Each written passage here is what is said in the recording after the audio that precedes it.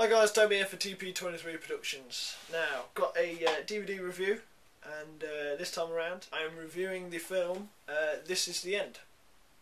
And it's got uh, James Franco in, Jonah Hill, Seth Rogen, uh, Jay Baruchel, Danny McBride, uh, Craig Robinson, with Michael Cera and Emma Watson. So it's an all-star cast, and each of the characters play themselves. So the film starts off Seth Rogen picking up his mate Jay from the airport. Like I have mentioned, uh, Seth Rogen and all the other characters in the film do play themselves. They're not playing the character, they're playing themselves.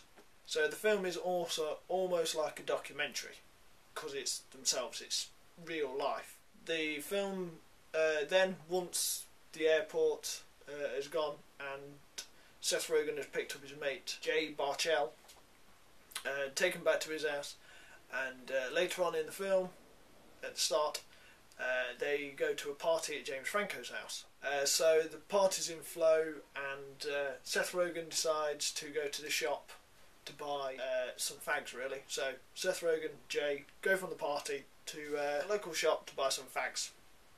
I think it's fags anyway. And while the two characters are at the shop buying supplies for the party, an earthquake hits nothing unusual really I suppose. Out of the skies a blue light comes down and takes people away, sucks them away.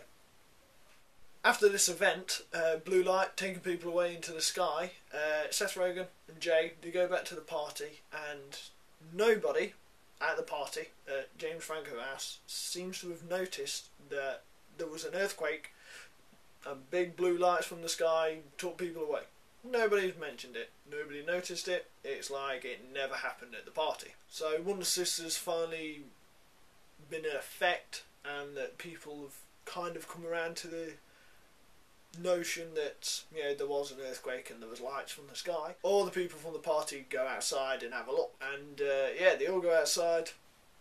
There's a couple hundred people maybe on the front of the house, and each one then discovers that the world has gone to shit it's gone.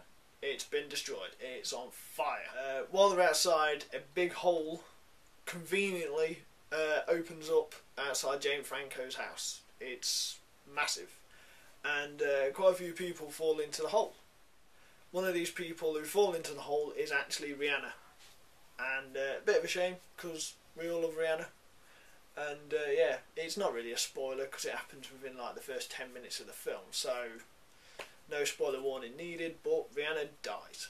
Honestly, I kind of stopped making notes of the film uh, simply because I was having too much fun watching it. Uh, it's such an enjoyable film. Uh, if you want to laugh out loud comedy with a big cast of modern day uh, comedian actors, maybe if if you're not a fan of any of the mentioned characters, uh, then maybe you'd like the film uh, because Emma Watson's in it. So if you're a Harry Potter fan, Emma Watson's in the film and she says fuck.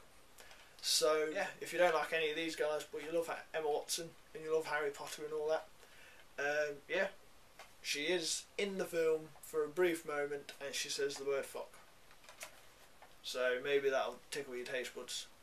But yeah, I kind of stopped making notes on the film simply because I was too busy enjoying it, uh, too busy laughing at it. I found it such a good film to watch. Uh, my mate, however, did not um, I think the film was that funny. He didn't say it was his cup of tea, uh, but me, I loved it.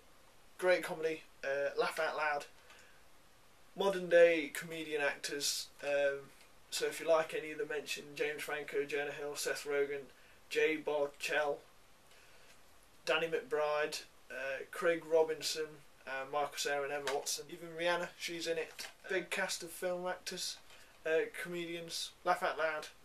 Uh, can't rate it enough. Very good film. Uh, yeah, this is the end. Very enjoyable film. Uh, thanks for watching my review of it. Don't forget WWTD, any We the Devoted gear, 20% off. All the links down below. However, guys, thank you for watching my review of This Is the End.